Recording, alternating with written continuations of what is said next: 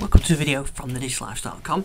In this video I thought I'd take a look at the new media player that's coming in Windows 11. Actually Microsoft released this to some insiders at the end of last year and um, I recently had got it on my machine so I thought I'd take a quick tour of it and show you what it can and can't do and uh, see see what, it, what it's like.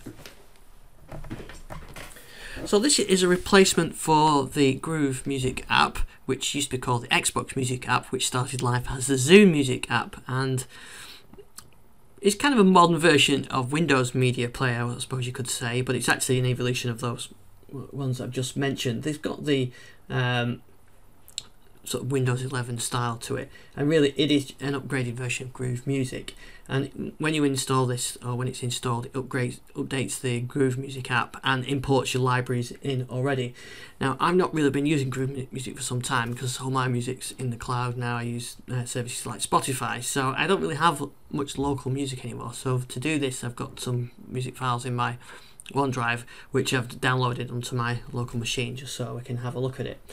But if you've been using Groove Music with all your libraries set up and metadata, then you'll find that uh, that works on here as well. So first glance, this is the home screen. You can see uh, recent files that I've played. So I've been trying a few different files. Um, you go into your music library. So I've got here, I've got my music library, and I've obviously not got much on here because I'm I don't normally use this for music playback, but I thought I'd show you. Uh, and I can view it by artists and albums and th those kind of things. I can shuffle and play them from here. Uh, you notice you can it brings the the metadata is brought down itself as well. These images it, it brought down. Uh, I think what you can do is um, you can actually go into here and get it to drag that information down uh, from the internet, and you can um, and you can update it manually, and you, you you can edit it yourself and update it manually if you like, or you can have it you know directly from the cloud. You can manually type it. You know you can uh, you can manually type it in if you want as well. So it's good for the metadata input.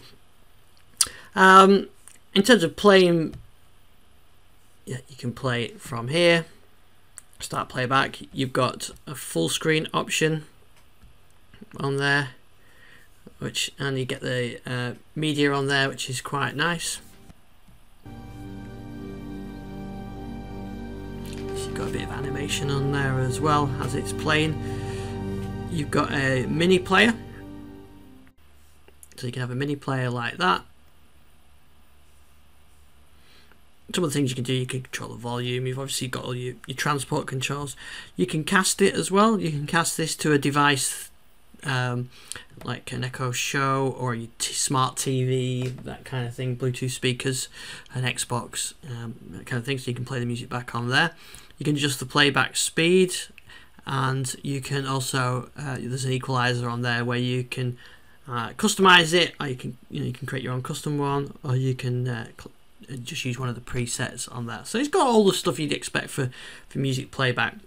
This is the default music playback as well, so you've got MP3 file, then this would be the default that it would play back on. So for playing um, local media like that, it, it works great. For editing your metadata, it seems pretty good as well. And for videos, same kind of thing. You can have your library of videos and it will play videos fine. This is this is an MPEG-4 video file that plays back. No issues again. Again, you can you can cast that. You can adjust the playback speed. You can adjust the volume, and you've got the full screen option.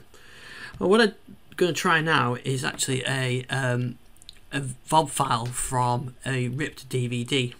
So I've just um, opened a DVD file. Um, which is a video TS file, and it's popped up saying checking it to see whether it had the codecs, and then this has come up. So um, yeah, it's asking me, it's telling me that I need to get an MPEG-2 uh, video extension, which is what the file is encoded in, which I can get from the store. So uh, I can show you there. It says uh, this is what you're going to need. Uh, so this is the MPEG-2 one. So I'm going to get that and see if that actually works if I if I install that.